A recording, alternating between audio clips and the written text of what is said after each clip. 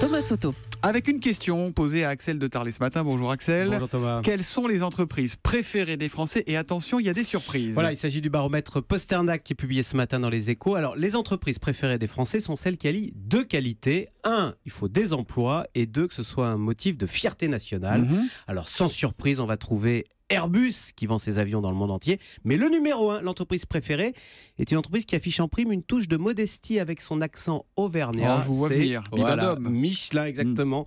Dont l'excellence est mondialement reconnue. hein. les voitures haut de gamme, la navette spatiale était équipée de pneus Michelin quand elle volait. Euh, Michelin qui est resté fidèle à ses racines, hein, qui a toujours son siège à Clermont, son centre de recherche mondial à Clermont, 3300 salariés. Alors en revanche, le plus beau gadin de l'année, comme on dit, c'est Renault, victime de ses moteurs diesel qui l'ont fait chuter de la 12e à la 23e place. Et enfin, le bon dernier de ce classement, alors ça n'est pas total, euh, ça n'est plus total ni la Société Générale. On a trouvé pire que la banque ou le pétrole. Il y a maintenant votre box internet qui ne marche pas, qui vous Ah, surfacture vous avec une hotline qui ne répond plus.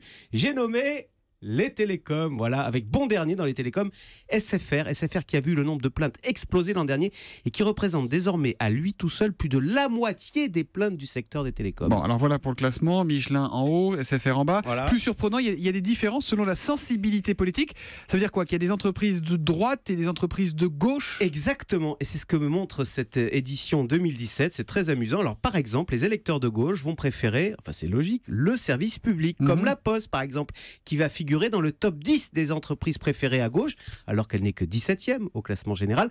Mais vous avez aussi les valeurs de solidarité, les coopératives, le crédit mutuel par exemple, qui plaît aux électeurs de gauche, crédit mutuel qui d'ailleurs a fait toute sa communication, vous savez, sur la banque qui appartient appartient à ses clients. clients. et non pas à ses actionnaires. Alors à droite, de façon surprenante, on va trouver surclassé Danone. Alors Danone qui est mondialement connu, c'est vrai. Pourquoi mais- ça vous surprend? Vous pensez que les gens de droite mangent pas de yaourt vous? Bah, c'est une droite un peu bobo parce que Danone se targue de, de valeurs éthiques, de valeurs Ah. responsables, etc.